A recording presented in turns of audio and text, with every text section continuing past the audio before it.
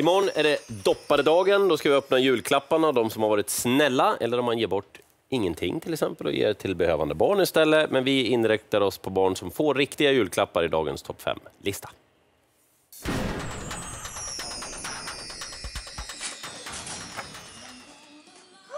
julkalender!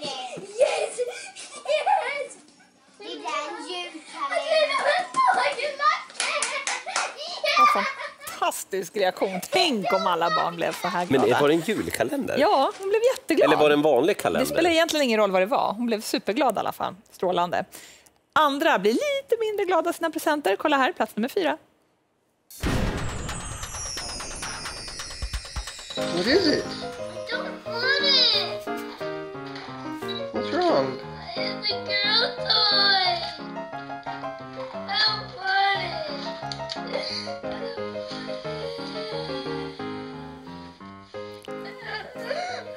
Vad säger man? Så himla tragiskt att man ska behöva börja livet med den där genussynen. Fast cementerad i... Ja, ja. Eh, Vi släpper den och går vidare med plats nummer tre. En förutsättning om man ska få några paket är att det kommer en tomte oavsett hur han kommer. Is that your present?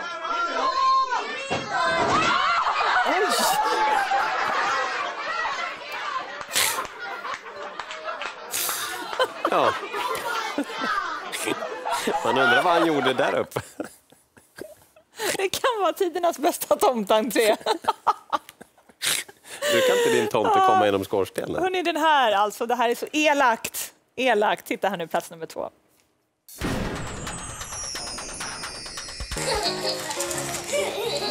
Found a box.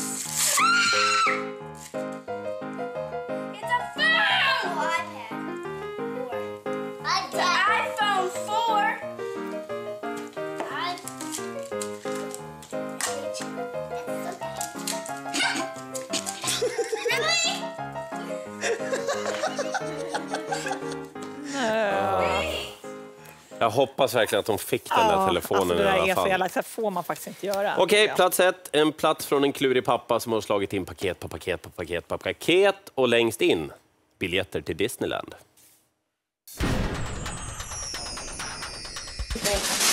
Daddy! It's gonna be a tiny kid.